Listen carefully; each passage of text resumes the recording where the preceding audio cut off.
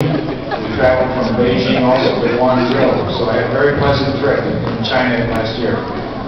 去年的这个时候呢，我正在北京啊、授课，同时呢从北京啊、旅行到了广州，所以呢去年的这个时候呢，我正在中国呃有一次非常有趣的旅行。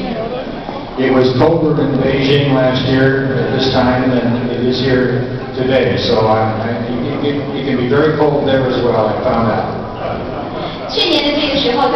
呢，我感觉到非常的寒冷，甚至呢比在埃文今天还要寒冷，所以呢那个时候我才知道，在北京原来也。